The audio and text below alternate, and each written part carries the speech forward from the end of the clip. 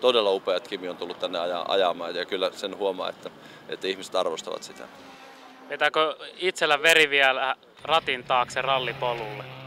No ei varmaan siis siinä mielessä, että ajas kilpaa, ja, koska se on kuitenkin todella vakava asia ja siinä täytyy olla joku päämäärä ja minun iällä ja minun elämäntilanteessa tietenkään ei voi enää rallin ajamisessa olla sitä päämäärää. Mutta tietysti se ajonautinto, mikä tulee, se on sama kuin musiikkia soittaisi, vaikka enää konsertteja antaisikaan, niin omaksi ilokseen soittaa pianolla ja nauttia. Eli jos minulla on hyvä nelivetonen nelivetoinen moderni ralliauto ajetaan ja mutkainen soratie, niin totta kai sitä haluaa ajaa, koska se, se, se kokemus tai se nautinto, mikä, minkä siitä saa, niin se on, se on jotain, mikä on osa minua ja, ja ei, ei se, sitä, se on niin kuin muusikko tosiaan, vaikka ei itse edes soittaskaan, jos kuulee seinän takaa hyvää musiikkia, niin iho menee kananlihalle ja varsinkin kun pääsee itse soittamaan, niin panee silmät kiinni ja nauttii.